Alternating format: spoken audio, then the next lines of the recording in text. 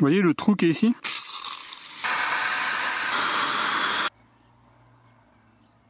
Bonjour tout le monde, dans cette vidéo je vais repeindre ma grande table de jardin une petite table de jardin extérieur. Je vais retester le pistolet de peinture de Parkside 400 watts.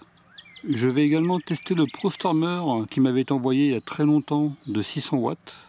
Et je vais utiliser de la peinture extérieure. Je vous ferai une vidéo afin de vous aider à choisir votre peinture. Les différents critères qui ont fait que j'ai pu acheter celle-ci et pas une autre. Au niveau de la protection, les mains, les yeux, les voies respiratoires, FFP2 ou masque de protection peinture et les oreilles. J'ai poncé et j'ai dépoussiéré le bois. Au niveau des pulvérisateurs, il faut rajouter plus 5 à 10% d'eau. Par simplification, je vais carrément mélanger le pot, mais je vous déconseille de mélanger le pot comme je vais le faire. Si vous rendez la peinture trop liquide, après vous serez embêté. Je vais rajouter 150 ml et on verra bien.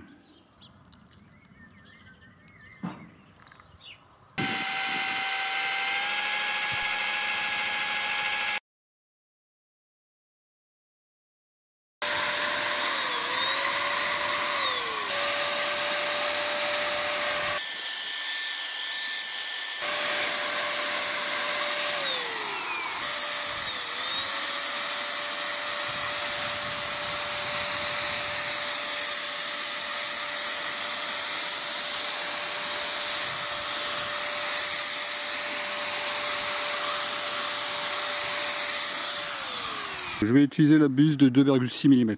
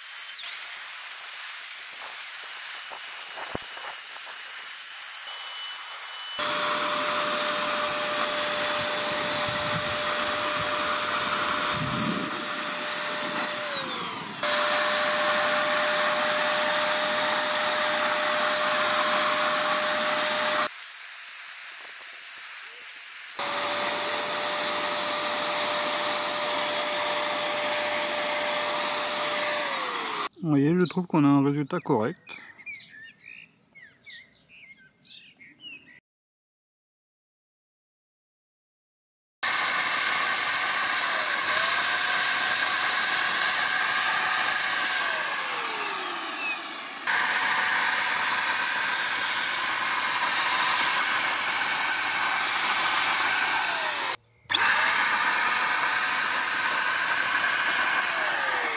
On a une quantité de peinture projetée plus importante que le Parkside. Par contre, ça envoie par paquet.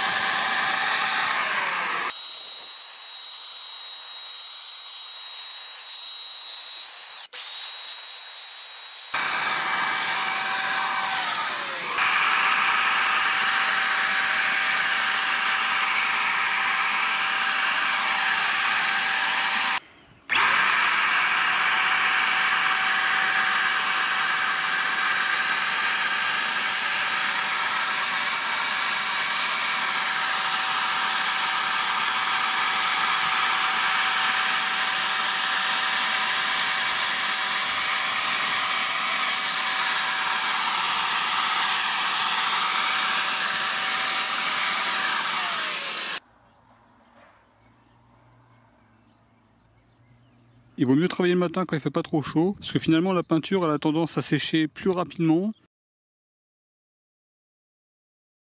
Regardez à ce niveau-là, il y a un trou. Vous voyez le trou qui est ici? Est-ce que c'est ça qui expliquait le problème que j'avais pas un flux de peinture continu? C'est le Parkside. Et là j'ai pas de trou. Je vais couper un petit morceau et je vais l'appliquer.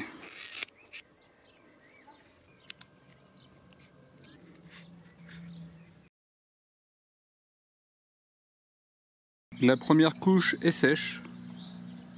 Là c'était Lidl et là c'était Proscenic. Dans les deux cas on a un bon résultat. Je vois pas de différence. Là c'était Lidl. Et là c'était Proscenic.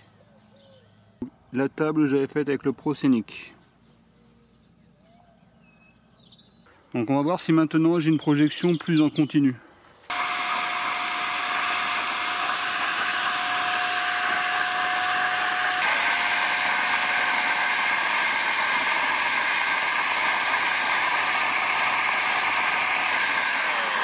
Donc là, clairement, j'ai plus le problème d'hier où c'était des projections, ça s'arrêtait, projection, ça s'arrêtait. Là, c'est beaucoup plus en continu.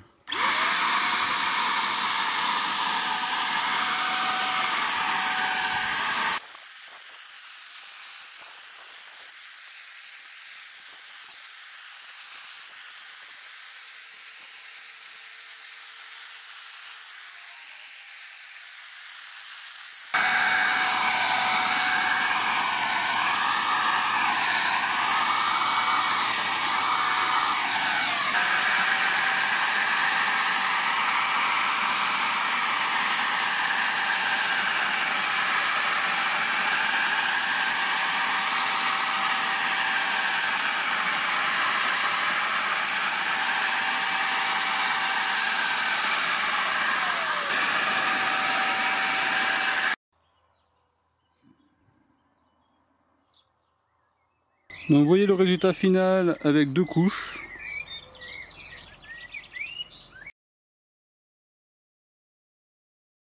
Ce que j'aime bien avec le Parkside, c'est que vous avez la forme des jets qui est inscrite ici, alors que sur le ProStormer, c'est pas clairement écrit. Donc j'ai moins utilisé le Parkside, mais j'ai eu l'impression que la température extérieure avait moins d'impact sur la projection du jet. Au niveau du ProStormer, je vais vraiment faire attention régulièrement à ici qu'il n'y ait pas de coulure. Sinon, ça faisait des gouttes au moment de la projection. En ce qui concerne la rapidité de travail, il n'y a pas photo, le ProStormer est beaucoup plus rapide. Avec le Parkside, j'ai dû passer en embout 2,6 mm, alors qu'avec le ProStormer, j'ai travaillé avec la buse de 1,6 ou 1,8 mm. Et j'avais un débit de peinture plus important, alors que le Parkside était avec un embout de 2,6 mm. Ça serait bien que Parkside nous sorte une version 600 watts. Avec le Parkside avec de la peinture extérieure, en tout cas, c'est passé en diluant entre 5 à 10%. Je n'ai pas dilué plus, par contre été obligé de mettre la buse de 2,6 mm. A mon avis, la buse de 1,8 mm, c'est plutôt pour la lasure. Si le ProStormer vous intéresse, je vous mettrai le lien en description de la vidéo. Je vous mettrai également des équivalents chez d'autres marques, par exemple TacLife ou TechPo. En tout cas, moi je vous remercie d'avoir regardé cette vidéo et je vous dis à très bientôt. Au revoir.